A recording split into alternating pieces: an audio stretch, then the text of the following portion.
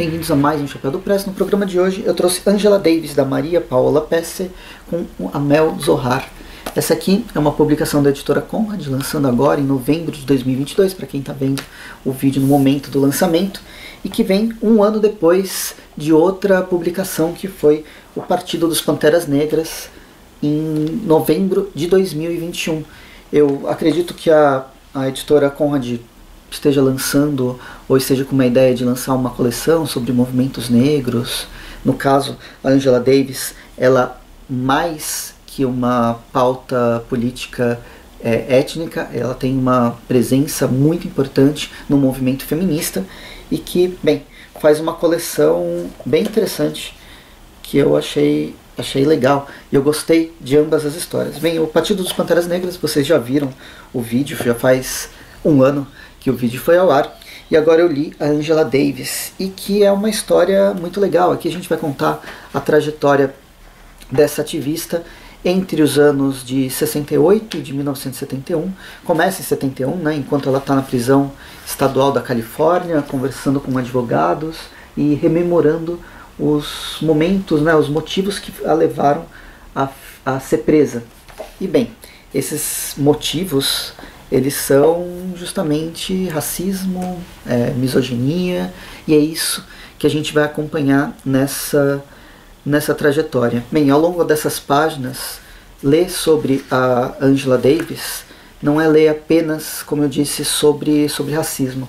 Ela vai estar dentro dos movimentos, ela vai ter ligações com vários dos, das células do, do, do Partido do, dos Panteras Negras, mas ela é muito presente ela é muito ativa, ela é muito, ela é uma liderança e por ela ser uma liderança, ela acaba sendo é, isolada, jogada para o lado. Afinal, ela é uma mulher. Então essa a trajetória da, da Angela Davis, ela não vem apenas no racismo, ela vem trazer esse preconceito e violência que não vem só dos brancos. Ele é um, é um algo muito mais, é algo sistêmico, muito maior, né? Um preconceito que está dentro não só da sociedade ocidental, europeia e tal, mas está dentro de todas as sociedades, que é essa diferença entre homens e mulheres, essa diferença cultural que se impõe como se o homem fosse mais importante, fosse mais forte, fosse mais inteligente que as mulheres, colocando as mulheres como as pessoas que precisam ficar em casa, as pessoas que têm que tomar conta do lar e essas coisas. Angela Davis não é isso. Angela Davis é uma liderança inteligente que vai bater de frente com vários desses outros líderes e outros que nem são líderes de nada, que só querem falar alto, porque afinal eles são homens. Enfim, nessa trajetória a gente vai ver como ela acaba se formando. É uma trajetória que vai mostrar como esse machismo, a misoginia, acaba vindo mesmo daqueles que ela supostamente poderia confiar. E aí, nessa, né, nessas idas e vindas, que ela sofre bastante, acaba sendo isolada, ao mesmo tempo que encontra alguns aliados que ajudam ela a crescer. Ela é muito importante para esse movimento étnico de, dos anos do final dos anos 60, início dos anos 70, ela está viva até hoje e toda a sua vida ela vai estudar essa importância de considerar as mulheres e considerar essa divisão entre homens e mulheres como uma outra luta de classes.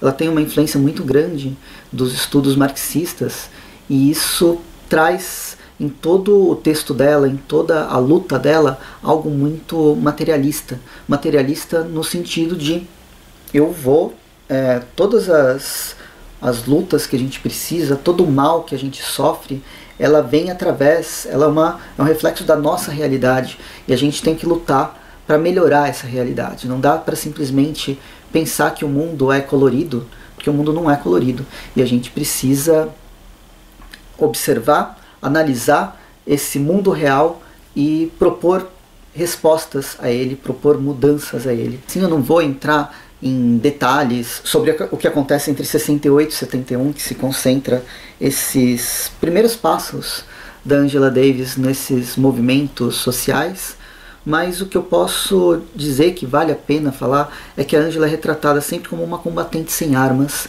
Ela é alguém que confronta o mundo machista, o mundo racista, o mundo individualista que persegue ela por ser mulher, por ser negra, por ser comunista, num fantasma, esse fantasma do comunismo que vem é, assombrando os assombrando o mundo desde bem, desde pelo menos do, do final do século XIX, desde que Marx começa a falar sobre como o proletariado, como a classe social que trabalha, né, ela é oprimida, ela é explorada e essa exploração vai gerar uma reação. Essa exploração ela precisa gerar uma um confronto com as classes mais mais ricas, as classes que são as exploradoras. E esse medo irracional de uma ideologia que luta por igualdade de direitos e uma visão de comunidade, que é, é uma das coisas mais absurdas, que né, o medo do comunismo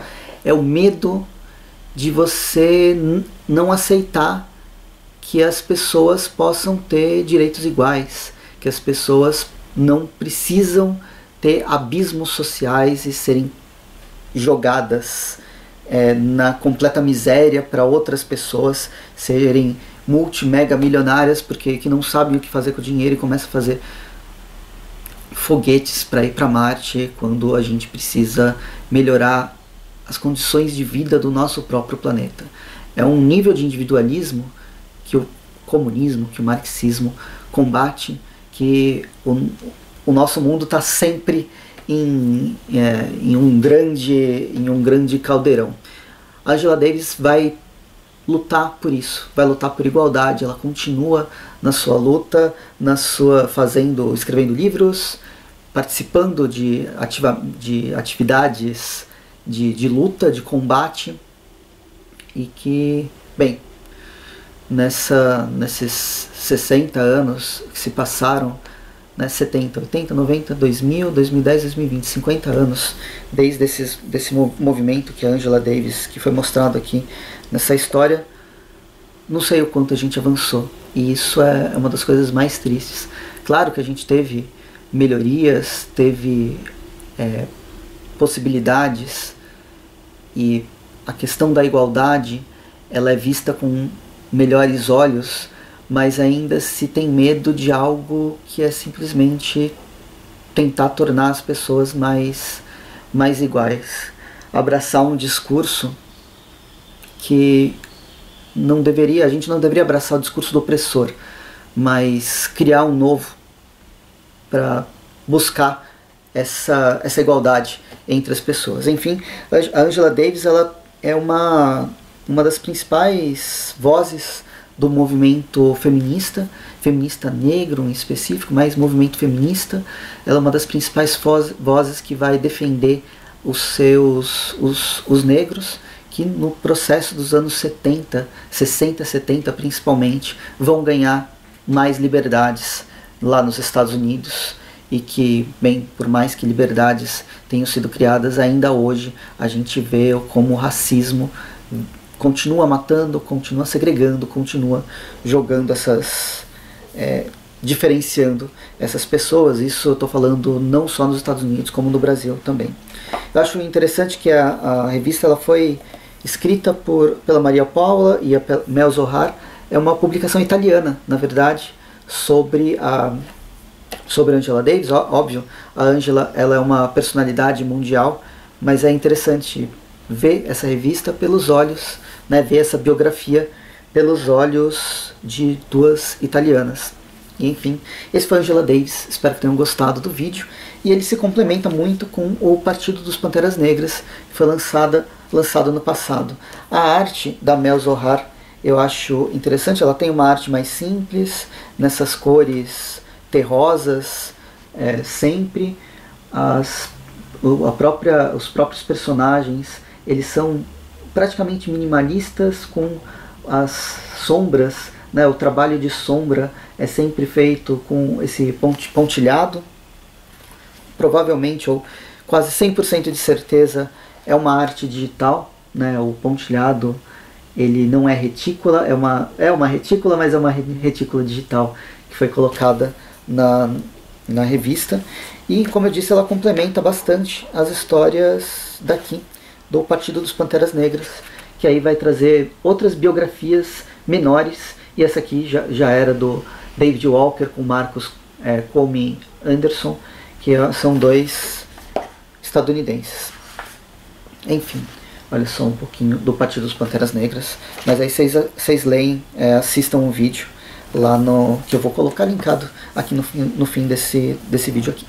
Enfim, vou ficando por aqui. Espero que tenham gostado desse, dessa pequena explanação sobre Angela Davis. É uma autora que tem uma, é vasto o número de publicações de livros que ela mesma publicou, que são importantes para se entender todo esse processo de, de separação entre as cla classes dos homens e das mulheres eh, sobre o feminismo, sobre o machismo, que por, por consequência.